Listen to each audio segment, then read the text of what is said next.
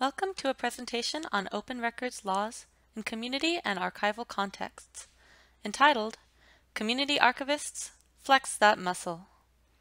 Throughout this presentation, look for blue offset hyperlinks to community and archival projects, as well as to additional resources. Let's begin with a brief introduction to open records laws. According to the Society of American Archivists, an open records law is a statute that guarantees the public has access to information held by governments. At the federal level, there is FOIA, the Freedom of Information Act, perhaps the most well-known of open records laws. But open records laws are in place at the state level as well. These statutes, also known as sunshine laws, exist in each of the 50 states. So why should we care? The work of community archivists is often positioned at or near the nexus of activism and archiving. Here are three ways open records laws fit into that work. They preempt the disposal or destruction of records. As archivists, we can appreciate the preservation of records that members of the public might find valuable. They give even non-academic researchers access. As activists, this is important to ensuring justice is accessible to all. They provide a backstage means of access when institutions stonewall the public, bringing to light documents that might otherwise have stayed inaccessible and hidden, melding archivist concerns of access and activist concerns of transparency. We will now look at three projects at the crossroads of archiving and activism, each one embodying one of these three potentials. Preempting disposal. First, we will consider an archival project, the National Security Archive. No connection to the National Security Agency of the United States, the National Security Archive is a non-governmental organization affiliated with the George Washington University Gelman Library. This archive claims to be the leading nonprofit user of the U.S. Freedom of Information Act and has filed some 50,000 FOIA requests over the last three decades.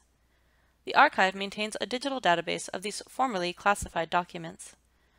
In addition to providing access to how-to resources on filing FOIA requests, the National Security Archive acts as a, quote, public interest law firm defending and expanding public access to government information, end quote.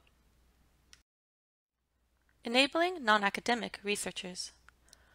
Now let's turn our consideration to a primarily activist organization. The Community Access Project of Somerville, Massachusetts is a community organization dedicated to ensuring that seniors and people with disabilities have freedom of movement through their communities, equal access to public services and goods, and access to neighborhood refuges, such as libraries. Using the Freedom of Information Act, CAP was able to, quote, provide actionable proof that the city was spending millions of dollars on street beautification projects that didn't even adhere to the minimal access code. end quote. According to Community Access Project Director Eileen Feldman, this FOIA request ultimately resulted in a major citywide streetscape improvement effort. Access around obfuscation. Finally, let's consider a project that powerfully melds archiving and activism. Conceived as a response to police violence, the Police Use of Force Project is an initiative of Campaign Zero, a multi-platform movement to end police brutality and ensure public oversight. The activists at the helm of this project, all of whom are rooted in the Ferguson, Missouri community, found that important information about police use of force is hidden from public view. Using the Freedom of Information Act, the project is assembling the first open source database of police use of force policies for the 100 largest U.S. city police departments in order to increase transparency and spotlight department policies that endanger the public. As powerful a tool as open records laws are, however, they do have their limitations. State statutes offer highly variable levels of effectiveness. The Federal Freedom of Information Act can be used as a model to take the measurement of the strength of a state's open records laws. Under the Federal Freedom of Information Act, the requesting party is entitled to a response within 20 days. If the federal agency does not meet this deadline and cannot provide evidence of unusual circumstances in defense of this failure, it can be subject to judicial review. Any person can file a federal Freedom of Information Act, including non-U.S. citizens and minors. At the state level, however, open records laws vary widely. In some states, there are no deadlines for response times, there are no sanctions for non-complying agencies, and people who are incarcerated, not a citizen of the state or of the United States, or are not of majority age, cannot file. Even the federal Freedom of Information Act is not perfect. Requested documents often come back full of redactions to the point of uselessness. In addition, both state and federal agencies will sometimes charge a fee to fulfill a request. Requesters should not despair, however. In some cases, fees can be waived. Through hard-won legislative battles, redactions have been lifted. It is useful to think of open records laws as a muscle. The more we use it, the stronger it will become.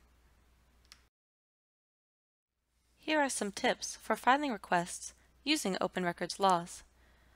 First, before you file, make sure that the information you're seeking isn't already publicly available. When you file, be as specific as possible.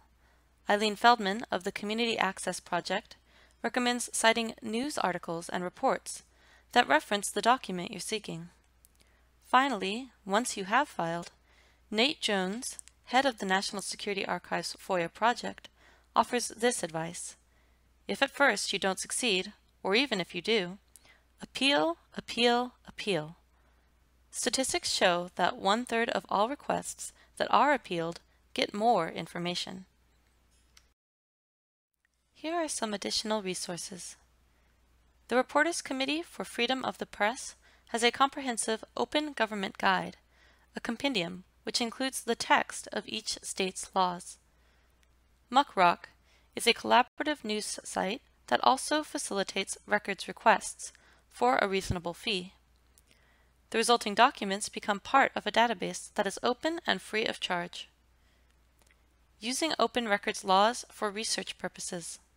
The authors of this paper investigate open records laws as a research tool within the field of library information science. The paper compares requests made in two states with drastically differing levels of open records law strength. Thank you for watching. I hope this presentation helps you feel empowered to flex your open records muscle.